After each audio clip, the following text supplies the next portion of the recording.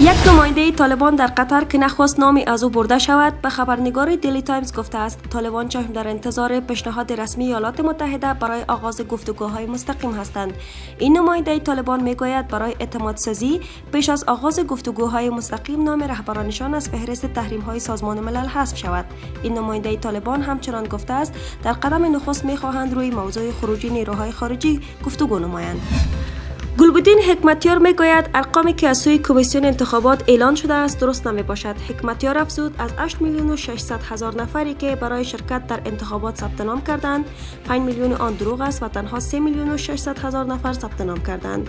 این در حالی است که انتخابات پارلمانی و شوراهای ولسوالی ها به تاریخ 28 میزان سال روان برگزار می شود در پی اعتراض هواداران جنرال دوستم در ولایت های شمال و شمال شرق کشور دفترهای ولایت کمیسیون انتخابات در شش ولایت بسته شده است.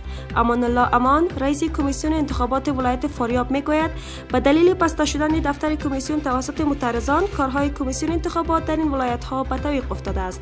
آقای امان ادعا دارد با وجود تقاضای مکرر هیچ اقدامی از سوی حکومت صورت نگرفته است.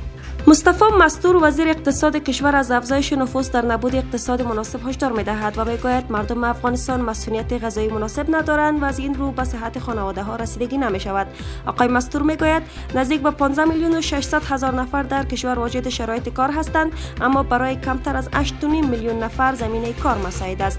با این حال وزیر اقتصاد از خانواده ها خواست به تنظیم امور غذایی بیشتر توجه کنند تا از افزایش بحران جلوگیری شود.